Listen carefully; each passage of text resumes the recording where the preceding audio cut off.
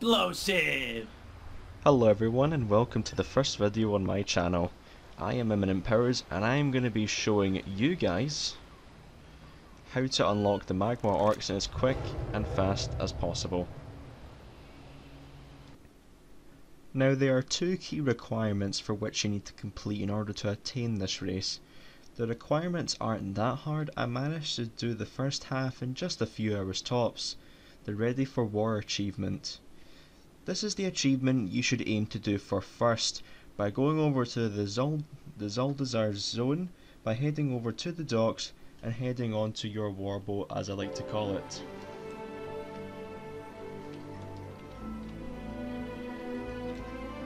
From here you will see Nathanos. He should have a bright red, he should have a bright orange reddish mark above his head once you have talked to him, accept the war campaign and go on from there. After completing the war campaign and completing all the achievements as shown on screen, you should be close to getting the revered status or even just starting revered, which is great. Now there's only one thing left to do and it's the grind. Now guys, this can be a quite this can be frustrating to do so, but with my steps it will be a dodo.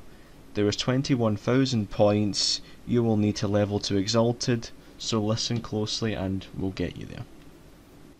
So for the first step guys that you would want to do is that you want to head over to your faction's capital city, which would be Orgrimmar in this case since this is a Horde allied race.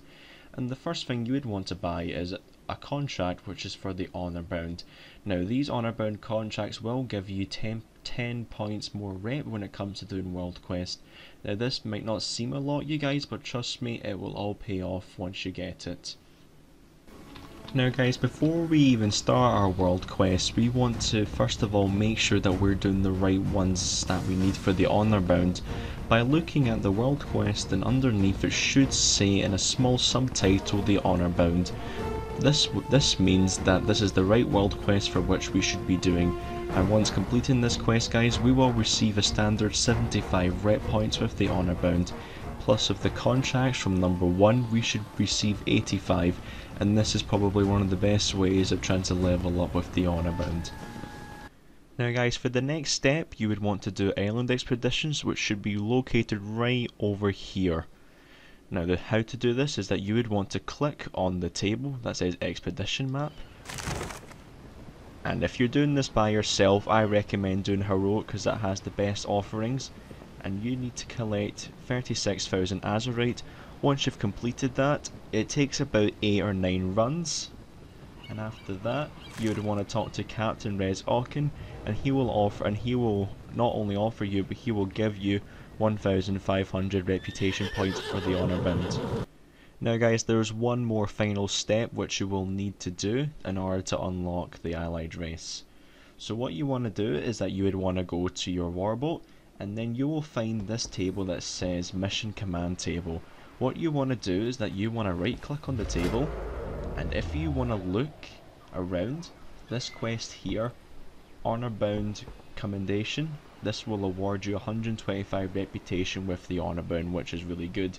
This one is quite long. It is 8 hours, but it's still worth it, guys, because it is still reputation with the honor bound. But before you go on ahead and do it, you really want to make sure you have at least a 100% chance in doing it. So you would want to drag any companion.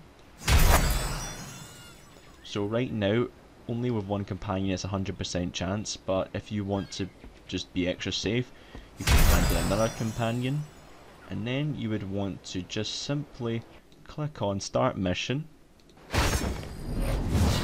and then it's in progress so then you need to come back in 8 hours time and then you will unlock 125 reputation with the honor bound. Now all of these guys can be quite different, some could be 4 hours, some could be 5, some can be at least a day or 18 hours but hopefully it shouldn't be that long for you guys. So guys, that's the end of the video. Be sure to show your appreciating by giving the channel a quick subscribe. If you want to see more videos like this, me giving you guys tutorials and steps on how to unlock allied races for either the Horde or the Alliance, uh, be sure to leave a comment down below if you guys have any troubles or any questions. And also guys, make sure to keep on following these steps every day and then before long you will be able to unlock the Mag'har Orcs. I have been Imminent Powers and I will see you guys in the next video.